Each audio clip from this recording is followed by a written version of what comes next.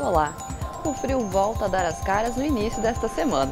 A previsão para esta segunda-feira no estado é de tempo parcialmente nublado, com possibilidade de geada na campanha e na região sul. Em alguns pontos, a temperatura mínima pode ficar em torno de 2 graus. No Vale dos Sinos, o dia será de nebulosidade, com curtos períodos de sol. A temperatura fica entre 6 e 20 graus.